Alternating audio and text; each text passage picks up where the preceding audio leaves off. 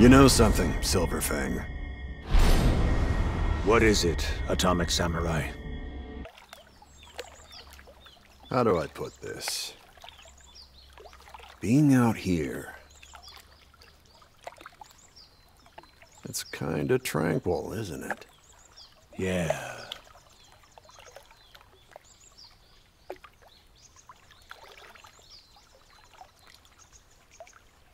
What was it? A week ago? When we went up against those aliens? Luckily, we haven't had a major incident since then. Quite fortunate. Yeah. You healing up okay? Hmm? Granted, we didn't end up losing any arrows.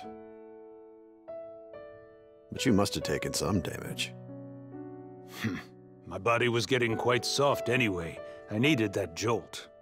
In fact, I wish it would have gone on longer and given me an even harder workout. Hey, enough of that, Silver Fang. You'll scare off all the fish. Sorry about that.